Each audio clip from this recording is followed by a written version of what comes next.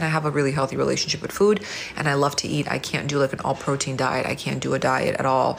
I can't do like Ozempic because then I'm not gonna be able to eat anything. Like I just, for me, I need to do something realistic and I feel like Weight Watchers is the only thing that's realistic because you can eat whatever you want.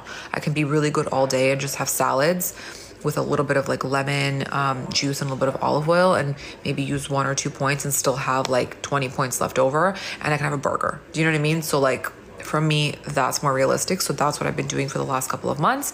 And we started doing a workout class called the Fit Shop. Um, we've been going three to four times a week. It's so hard. Um, I said this on my YouTube video, which I haven't posted. I'm editing it now.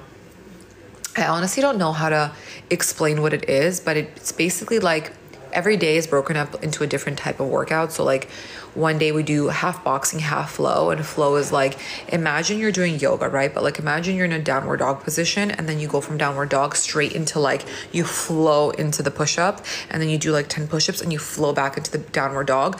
But instead of stopping and getting up, you like then take your leg up and you're pulsing your leg and then you're like kicking your leg in and out. And it's like you're never stopping and it's so hard and the movement seems so easy. And then they put like ankle weights, but it's so humbling. The first time I took the class, my friend Jackie was like, "You need to come. It's incredible." Because she, we saw her and she looks like in the best shape she's ever been. She's always been really fit, but now she's like in the best shape of her life. And she just had her second baby, and she goes there. She's very committed. And she's like, don't give up. She goes, I like walked out the first three, four times. I didn't finish. The first class that I took, I walked out shaking. I was like shaking. Okay. I got, got in the car, couldn't drive because I thought I was going to vomit.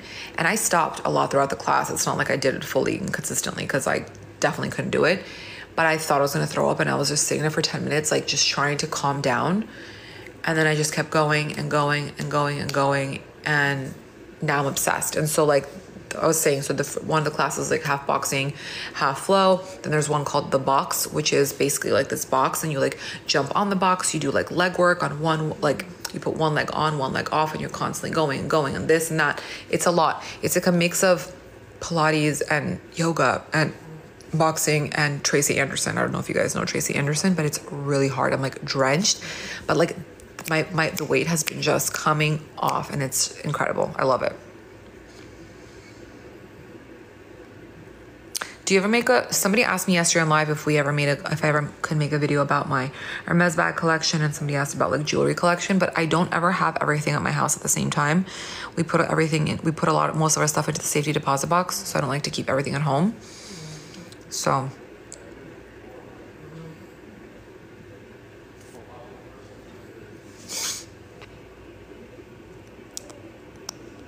what self I don't use self tanner. I don't like self tanner. It's a personal preference. See, that's another this is a good one.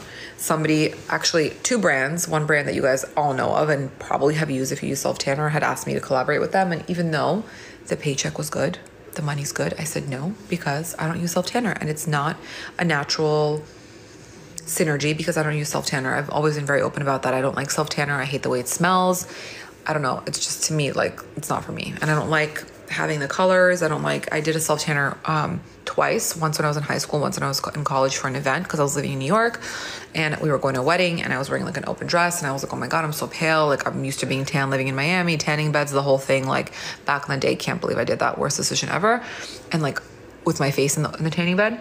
And then I remember I got sprayed and I was like, this is like gross. I hated the way I smelled and it was not for me. So. Is the Goyard tote worth it? I have like mixed reviews and feelings on the Goyard tote because it's really annoying when you go and spend the money for it and then like you see somebody walking with like a $50 knockoff version of it that looks like exactly the same. So like if you're gonna use it for work and it's gonna get beat up, just get the get the fake one. And I would usually never tell you because I don't buy anything fake. Like I'd rather not have it. But just that specifically because if you're like walking New York, I feel like they're all over Fifth Avenue. And that's just like the Goyard thing just really fucks me up. I don't know.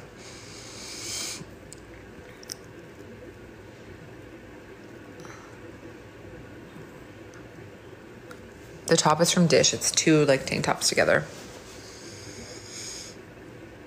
What's my favorite thing about being a mom? That I have a forever boyfriend. I always say that to Aloni. I'm like, Liam's my forever boyfriend. Um, my favorite thing about being a mom, I don't know, it just changes you. You just don't give a fuck about a lot of things. Am I allowed to curse on live? I don't even know. You honestly just don't care about a lot of stuff anymore. Like, I say no. It's the best. I used to not say no. I used to be like, oh, like, okay. Like, I used to do things because I just didn't want to and I felt uncomfortable and I didn't want to hurt someone's feelings. But now I'm like, no, nope, nope, nope. I'm prioritizing Liam. Just, it just changes you. I don't know. Even like for work events, I was saying this to like my management team the other day. I was like, I feel like a lot of brands think I'm like such an asshole because I like never go to like influencer stuff. But I'm very particular about like where I go and like how I just, uh, how I um, use my time. But it's because, I can't go to an event like five, six. I want to be here for bath time, you know? Like, I don't want to go here and do this because it's going to take away from this. And like, by the time I drive there, it's going to be like an hour. And then I have to be at the event for like an hour or two. And then that's like four hours that I miss from being for my son, you know? So I'm very, very specific about like the things that I do. And so I feel like things like that change you because you prioritize your time differently. Yeah. Thoughts on Stagecoach? I don't know. I'm not like, you know, Aloni has, is from California. He's never been to Coachella. So we have found each other because I'm not like a music festival girl either. I've gone to Ultra, I've gone to All Points West. That was the best music festival I've ever gone to. It was in New York. It was like back in the day. I don't think they ever did an All Points West after that.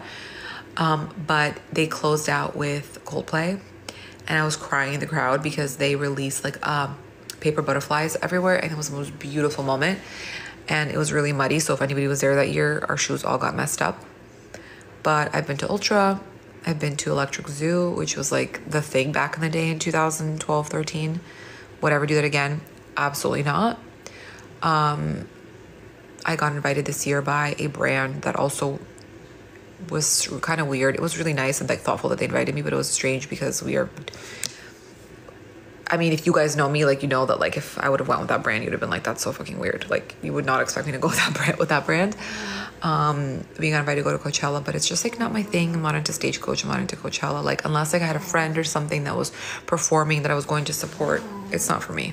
Like I wouldn't spend all that money to fly there, get a hotel, like do the whole thing, outfits, outfits. It's not for me.